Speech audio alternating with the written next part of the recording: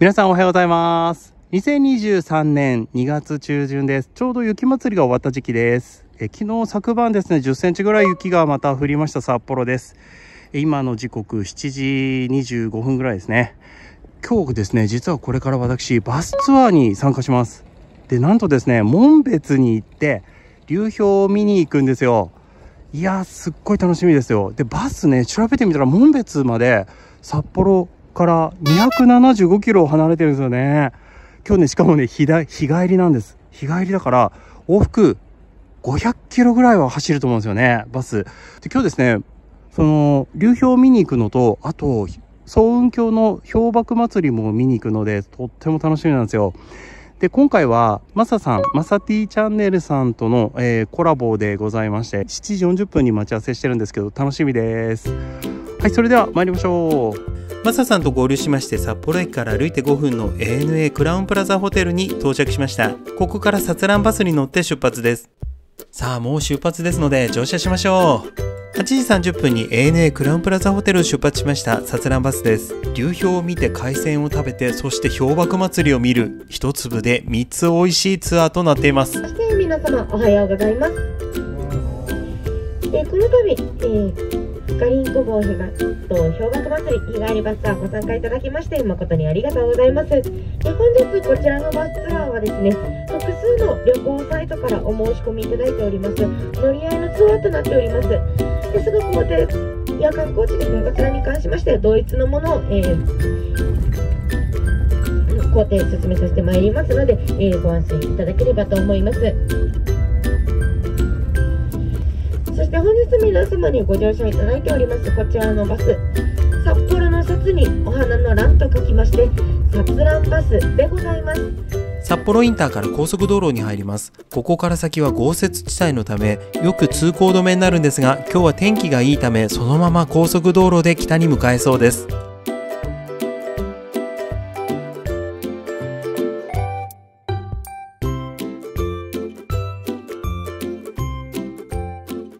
幌市内を抜け江別市内に入りました。左側に100年記念塔が見えます。高さが100メートルあるんですが老朽化により取り壊しが始まりました。岩見沢近くになりますとやはり積雪量が増えてきます。冬道を自分の車で門別まで行くというのは私自身は怖いですしこうしてバスで連れてってくれるというのは本当にありがたいプランですね。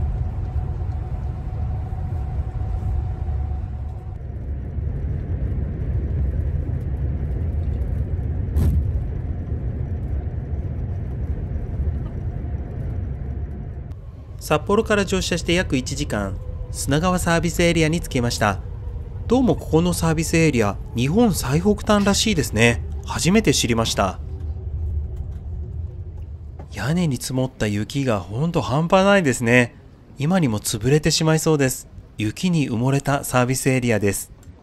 交通情報を見ましたら50キロ規制にはなっていますが流れがスムーズなようですね。少しの休憩の後出発しまして間もなく滝川を通過するところです。そしてバスは2時間ほどで旭川市内を抜けてきました。ここから上川そしてオホーツクの方に向かっていきます。上川の方に入りますと車線が減少し片道1車線に。雪の量がさらに多くなってきています。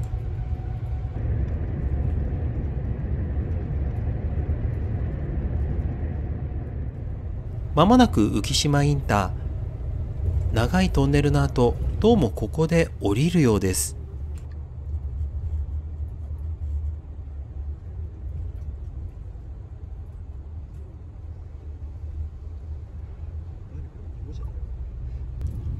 浮島インターを降りると石北トンネルに入る直前の石北本線がここです。見えました。ちょっとちらっとだけ見えましたね。いや取り逃したなと思ってたら取れていました。よかったです。ここから国道273号線に入り滝の上そして目的地の門別へまっすぐ向かっていきます。だんだん吹雪となり視界不良となり道路状況も悪くなってきました。片道250キロある長距離をこの悪天候の中運転してくださっている運転手さんには本当感謝ですね。上のワイパーこれ運転手さん用ではないんですが私たちのために視界が良くなるようワイパーを動かしてくれています。いやーありがたいサービスです。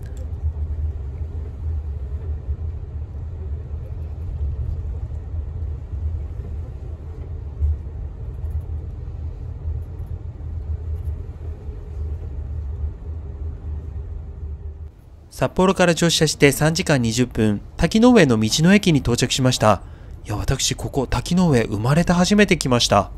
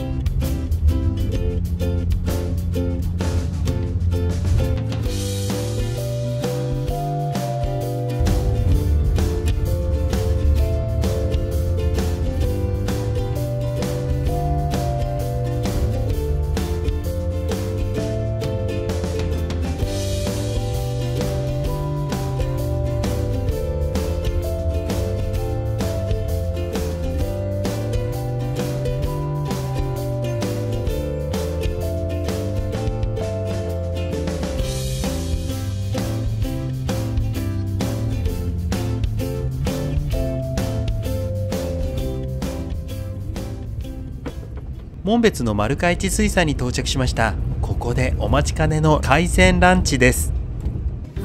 いやーこれはすごいですよね。ホッケとズワイガニそしてエビとホタテですよ。ホタテすごい大きいんです。これはすごい。あー美味しそう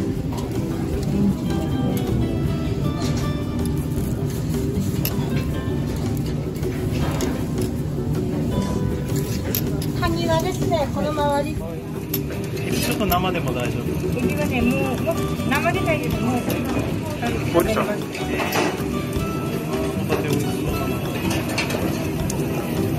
汁汁美味しそう。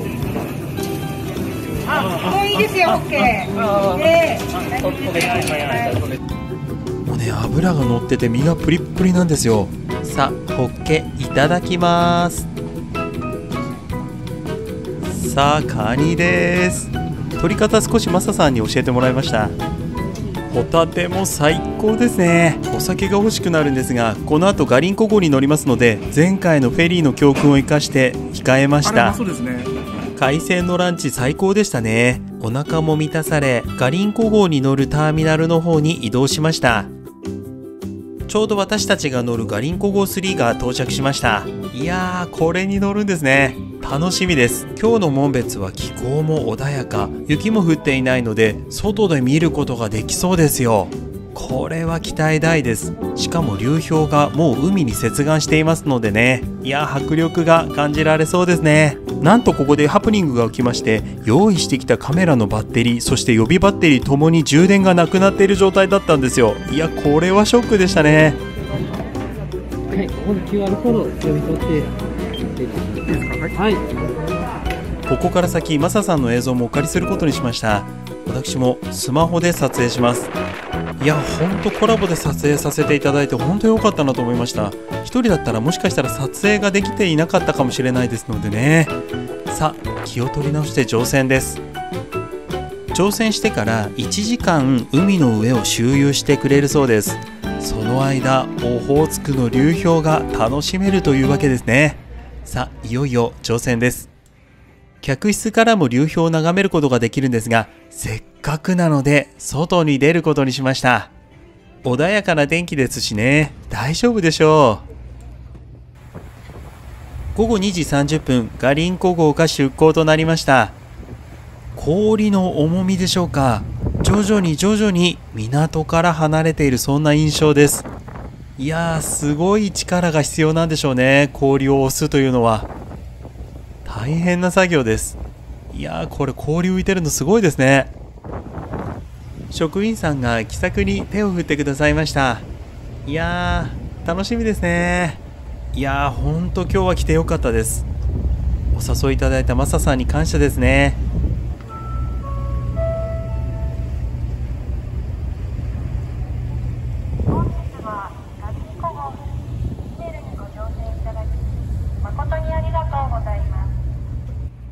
港を離れいよいよ沖に出ようとしています。ガリンコ号3です。今日は一生の思い出ですよ。この目に焼き付けておこうと思います。ゆっくりゆっくりと氷をかき分けながら力強く進んでいます。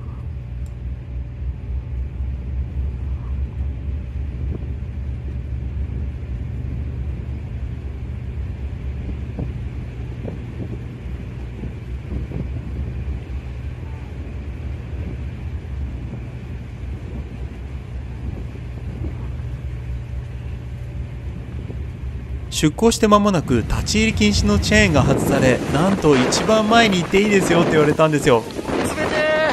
これ見てください。最高のロケーションですよ。あの前に2つ穴開いてるところにスクリューがあって氷を砕きながら前に進んでいるんです。これはすごい迫力です。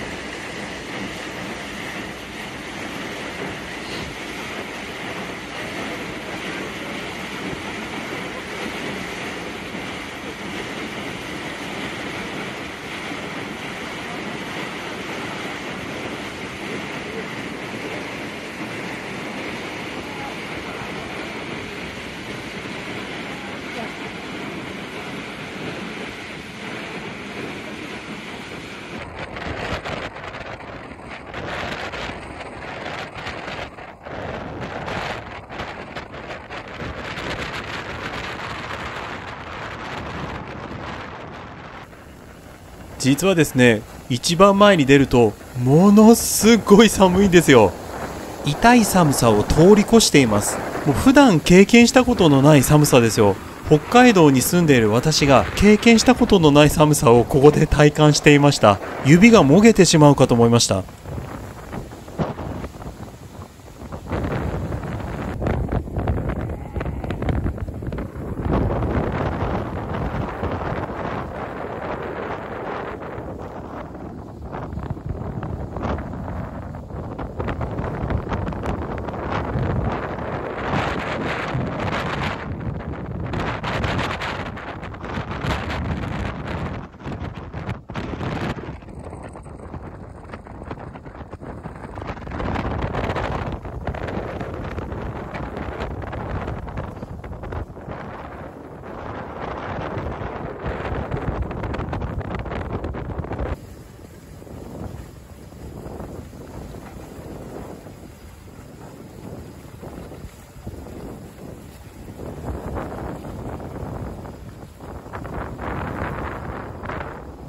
すごい寒かったですが地平線まで続いているこの流氷の景色最高です。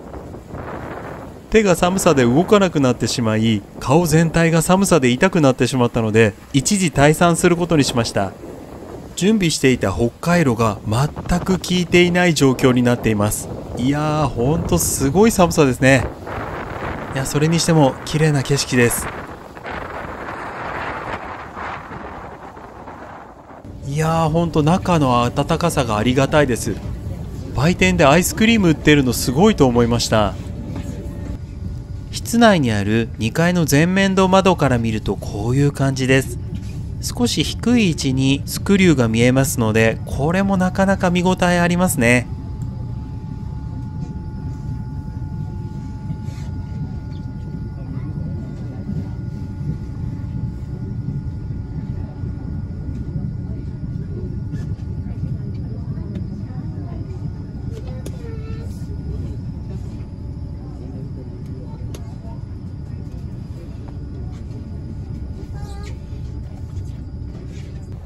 体が温まったところで再び外に出てみました。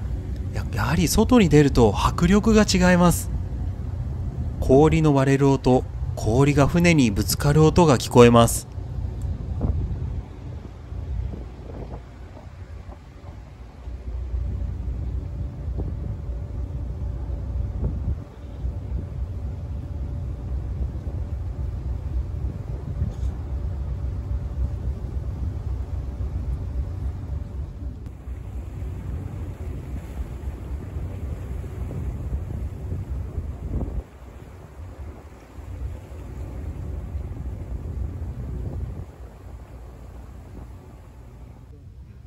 乗船して約45分まもなく素敵なクルージングも終わりに近づいています。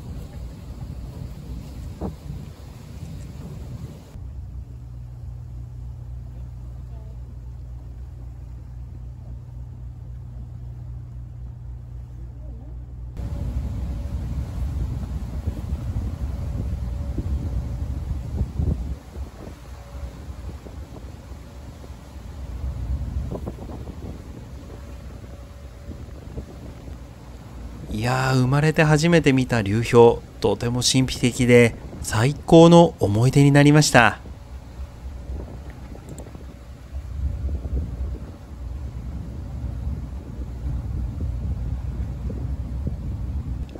乗船して1時間カリンコ号3は港に戻ってきました。皆様も一度この目で流氷を見に行ってみてはいかがですか？今日の動画皆様いかがでしたでしょうか？今回のバスツアーはまだまだ続きます。これから総雲峡の氷瀑祭りへ向かいます。後編へ続きます。今日はご視聴いただきましてありがとうございました。